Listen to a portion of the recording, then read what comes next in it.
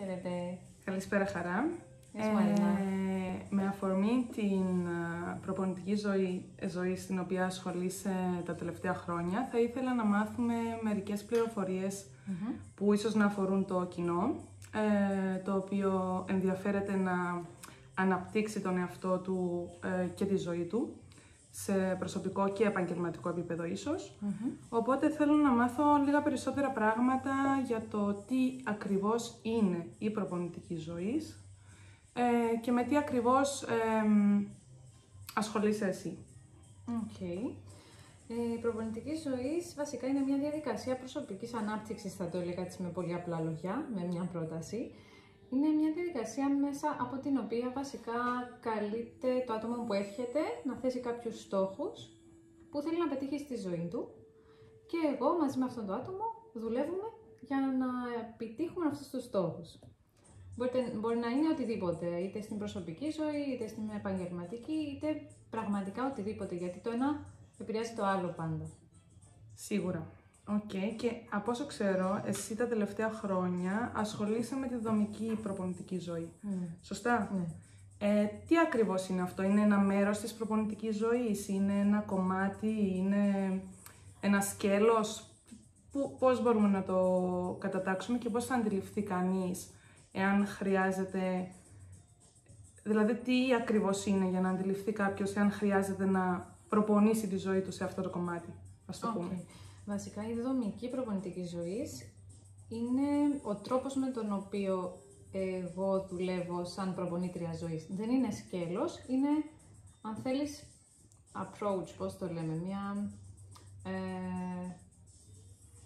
μ, Προσέγγιση. ναι, προσέγγιση κάπως Ωραία. διαφορετική να το πω. Οκ, βασικά έχει να κάνει με τη δομή. Όταν λέω δομή εννοώ τις λέξεις με τις ο- οι οποίες μας δομούν σαν άτομα. Γιατί ο άνθρωπος, το ανθρώπινο ον είναι δομημένο με λέξεις. Το Κατάλαβα. ασυνείδητο μας ή εμείς, ο, τέλος πάντων, είτε το συνείδητο είτε το ασυνείδητο, είμαστε δομημένοι από λέξεις. Γεννιόμαστε και οι λέξεις που θα μας πούν οι γονείς μας ή ο- το, το περιβάλλον μας κτλ. Αυτό παίρνουμε. Και αναλόγως χτίζουμε το σώμα μας με αυτές τις λέξεις. Επομένως, αν θέλει κάποιος να, να αλλάξει κάτι στη ζωή του, βασικά καλείται να, να αφήσει κάποια πράγματα τα οποία τον δομούσαν σαν οντότητα. Ας πούμε κάποιος είναι, ξέρω εγώ, ε, πώς να το πούμε, γυναικάς, οκ; Αυτό, η λέξη και μόνο, τον έχει δομήσει σαν άτομο.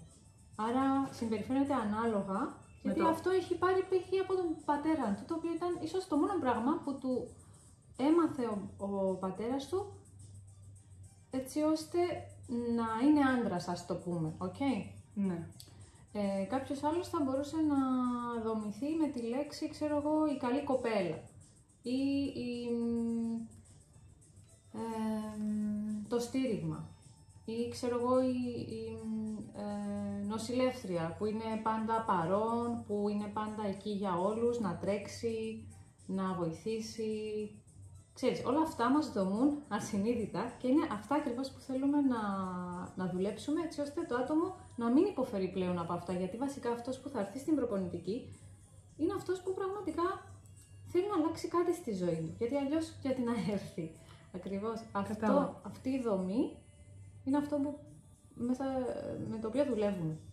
Στην ουσία, ε, κάνεις το ασυνείδητο συνειδητό και δουλεύεις πάνω σε αυτό, αν κατάλαβα σωστά. Εντάξει, αυτό δεν είναι εγώ που το κάνω καταρχήν, είναι το άτομο που έρχεται σε μένα, που το- το δουλεύουμε μαζί.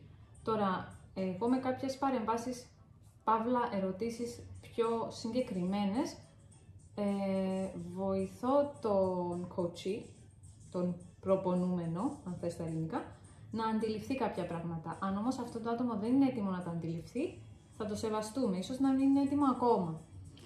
Ε, τώρα το, συν- το ασυνείδητο να γίνει συνειδητό, αυτό είναι μεγάλη υπόθεση. Θα γίνει στην ώρα του. Ωραία. Και φαντάζομαι, τώρα ερχόμαστε στο, στο ερώτημα που πι- πιστεύω κάθε άνθρωπος θέτει στον εαυτό του. Πότε καταλαβαίνει κανείς ότι χρειάζεται να κάνει μια προπονητική ζωής ή δομική προπονητική ζωής; Οκ. Βασικά αυτό είναι κάτι πιστεύω που θα, θα το νιώσει ο κάθε άνθρωπος ε, στη ζωή του. Γιατί θα νιώσει πως κάτι δεν πάει καλά. Δηλαδή, Είναι ένα σαν, κλικ. Ναι, είναι κάτι σαν να μην αναγνωρίζεις πλέον τον εαυτό σου. Αυτό που λέμε ο εαυτός σου είναι αυτά που νομίζεις ότι είσαι, η εικόνα σου, που έχεις δημιουργήσει μέσα στη φαντασία σου, που νομίζεις ότι αυτό είμαι εγώ. Και όταν κάτι συμβαίνει και αποσυντονίζεσαι, ας το πούμε έτσι, λες, όπα, κάτι συμβαίνει εδώ, δεν πάει κάτι καλά. Άρα, ίσως είναι ένα σύμπτωμα που έχει σταματήσει να λειτουργεί, άρα αυτό κάνει το άτομο να υποφέρει και πρέπει να φύγει από αυτή τη θέση που κρατούσε μέχρι χθες. Ας το πούμε κάπως έτσι.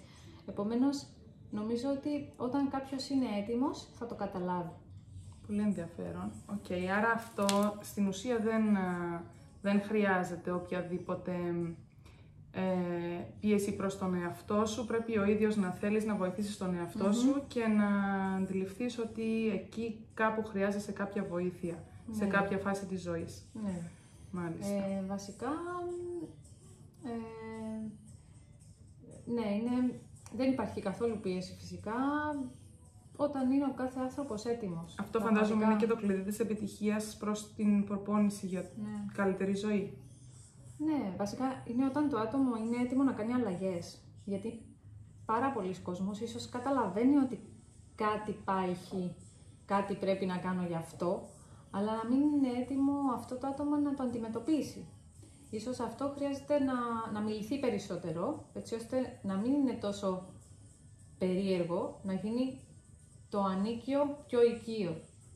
Κατάλαβες, γιατί μερικές φορές μπορεί να υποφέρουμε κάπου, αλλά να μην μπορούμε να βγούμε από αυτό, γιατί είναι αυτό το οικείο που γνωρίζουμε. Άρα, για να δημιουργήσεις κάτι καινούριο, πρέπει να περάσεις βασικά από τη διαδικασία της αλλαγής. Και αυτό είναι τρομακτικό για αρκετό κόσμο. Σίγουρα. Πολύ ενδιαφέρον.